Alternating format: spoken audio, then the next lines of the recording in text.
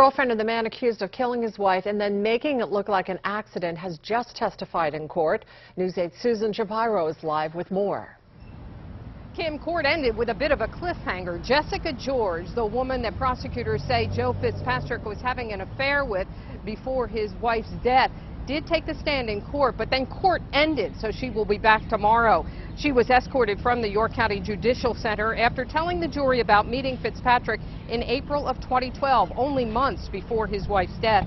She said that on their first date, he told her his marriage was complicated, and that was a sign to make a decision and move forward.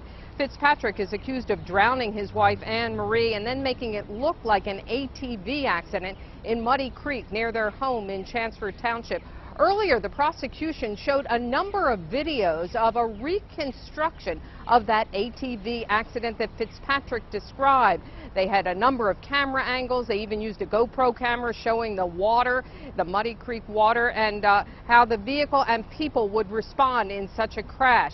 Now, on cross-examination, defense attorney Chris Ferro tried to dispute the validity, validity of those tests and he even used a chair at one point to dispute what uh, the, uh, the corporal on the stand was saying, and he wanted to show how one person might be injured or even die in an accident, and another, like Joe Fitzpatrick, might go unscathed.